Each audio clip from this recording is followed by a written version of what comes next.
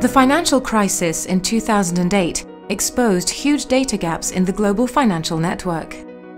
Only with high quality, comparable and timely data can regulators assess risks and restore confidence in the financial system in a harmonized and standardized way.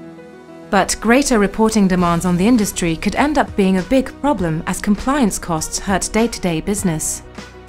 Today, all EU banks are required to report up to 700,000 data points quarterly in different templates. This is just for prudential reporting. Combined with statistical reporting, it is much more. This is not only time-consuming and costly for the sector, but it still leaves systemic risk exposed. A new information value chain is needed for reporting to work properly in the 21st century. Template-based reporting is hampering data quality and effective regulatory reporting. This means greater integration and automation of regulatory reporting. In Austria, the central bank, together with the country's banks, have worked to develop a new reporting model. Each regulated entity enters its data in a standard data cube defined by the central bank based on BearingPoint's Abacus platform.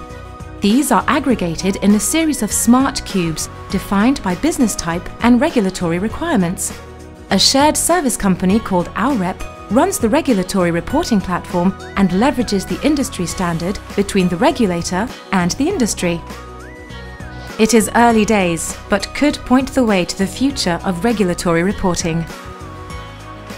Find out more in our BearingPoint Institute paper.